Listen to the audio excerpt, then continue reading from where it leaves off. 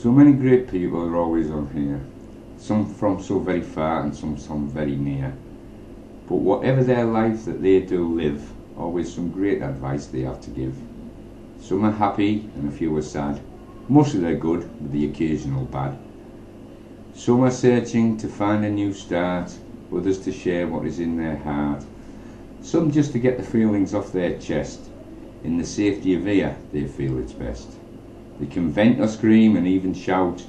No one tells them to shut up or get out. Maybe some with a partner who doesn't care, or some who at home they just would not dare. But whatever the reason, this is the place to be. Always safe and secure on here, you see. Plenty of others to take up their fight and try to help them with their plight. Some have lived with anger, violence, and strife, so on here it's like another happier life. As we know, life will move on, and I only hope your sorrows will be gone.